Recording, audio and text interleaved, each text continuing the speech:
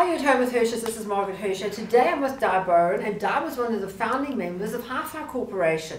Now imagine that going way back then and starting a company that was so controversial, so out there. Di, tell us a bit about your journey. Yes, um, well, Margaret, it was so exciting starting up Hi-Fi Corporation.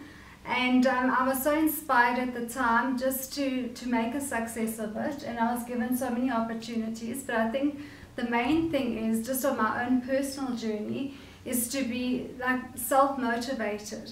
And is that what I've always believed in is that one needs to rely on oneself independently for your self gains. So in for your financial gains, you need to rely on yourself. Absolutely. You can't rely on anyone else to put you out there. If you mm-hmm. want to actually earn something or achieve something, you've got to make it happen yourself.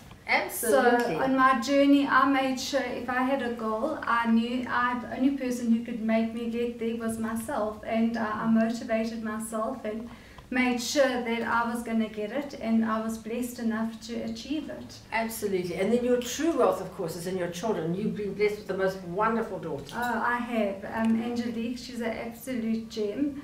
Um, and um, she's such an amazing child and um, I'm blessed enough after she got her degree she's now working with me side by side on the online business direct wow. deals and, it, and it's been an amazing journey to see her blossom and to and now grow. be with me side by side. And, and she's such a, a, blessing in my life. Fabulous. Well, thanks so much. This is Margaret Hirsch from Hirsch's. You're home with uh, Hirsch's uh, on Women's Day today. Thank you.